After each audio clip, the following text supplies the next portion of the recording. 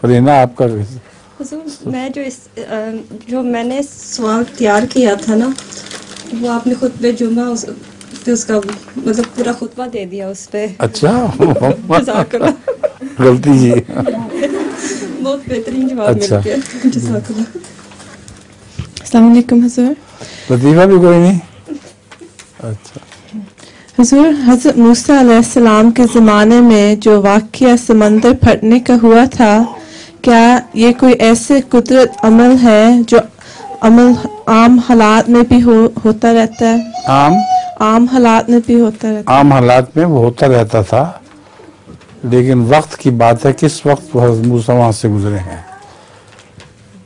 سیلاب کا پانی اوپر سے دریا سے بڑی تیزی سے نیچے کی طرف آ رہا تھا اور اس سے پہلے وہ جگہ خشک ہو چکی تھی۔